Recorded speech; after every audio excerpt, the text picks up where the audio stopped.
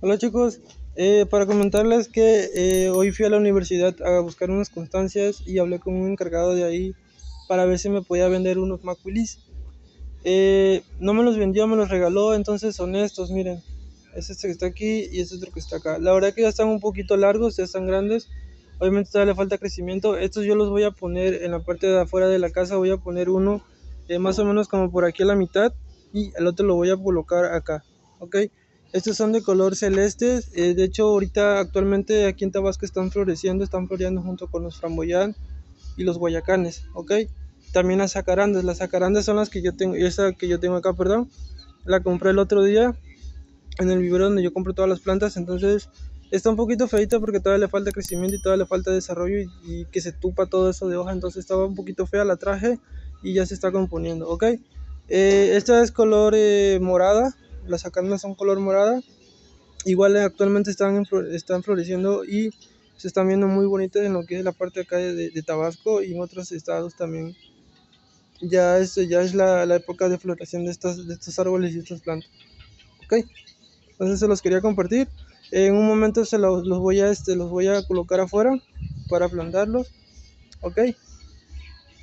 Ok chicos, bueno pues aquí va a ser eh, una donde voy a colocar un maculí. ¿Sí? Lo voy a colocar más o menos a esta distancia, donde tengo este pie, acá. ¿Por qué? Porque recuerden que los macuilí, los framboyanes, los guayacanes y las acarandas, en este caso, este tipo de árbol, necesitan espacio. ¿Para qué? Para engrosar el tronco y posteriormente sus raíces no le afecten. Como saben, aquí yo tenía una jacaranda, el año pasado desafortunadamente se me murió eh, esto porque por el detalle de las inundaciones y del agua, que hagan de cuenta que todo esto siempre estaba húmedo porque tardó eh, casi dos semanas lloviendo. Entonces eso le afectó y la tuve que quitar este año porque pues, prácticamente se me murió. Actualmente compré otra, en un momento se las voy a mostrar que está en el, ¿cómo se llama? En el jardín, esa ya la planté en el jardín. ¿Ok? Pero los macuilis me, me los regaló la universidad, me regalaron dos.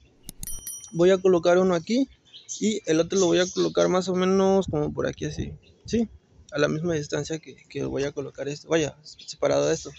Les comento esto ¿por porque estos, con el, conforme van pasando los años y el tiempo, se van engrosando el tronco, es cuando ya va, cuando va creciendo la planta, el árbol en este caso, y a pesar de que los macuilis sus raíces las tiran hacia abajo, necesitan espacio en este caso para agrandarse, y obviamente si ustedes por ejemplo lo ponen a, a ras de la, de la casa, o arras en este caso de la banqueta mío que lo voy a colocar acá afuera, eh, van a, va a requerir espacio y me puede llegar a romper esta parte de aquí de la tanto de la casa como de la banqueta. En mi caso, eh, eso ya estaba roto, ¿va? Pero eh, es la argumentación que les hago. Ok, bueno, pues acompáñenme.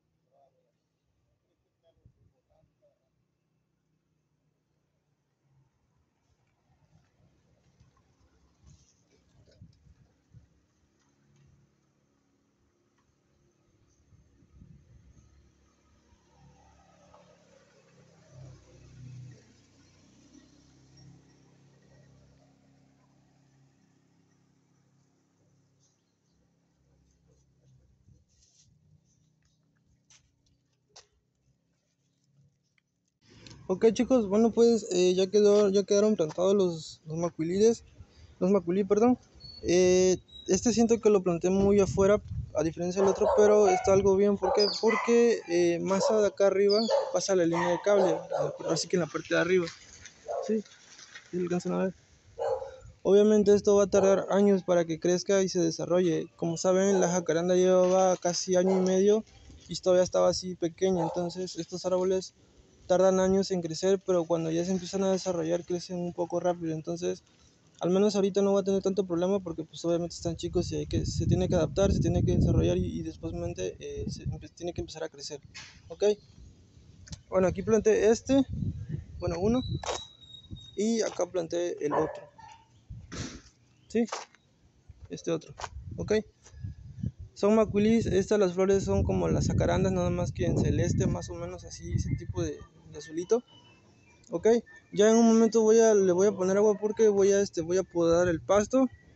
Ahorita les voy a mostrar la jacaranda que yo tengo adentro. Y en este caso, pues les voy a poner agua, un poquito de agua. ¿Por qué? Porque eh, no, tarde y llueve. Eh, hoy anunciaron lluvia. Ayer, el día de ayer estuvo lloviendo un poco, entonces eh, al menos aquí sí la tierra está, este, está dura, está seca. Pero la parte de adentro sí igual está un poquito este, blanda la tierra. Entonces, nada, les voy a poner un poquito de agua ahorita que, que puede el pasto para ya dejarlas todas las plantas listas y obviamente estas también. ¿Ok? Bueno, pues les voy a comentar y les voy a platicar la jacaranda que tengo adentro.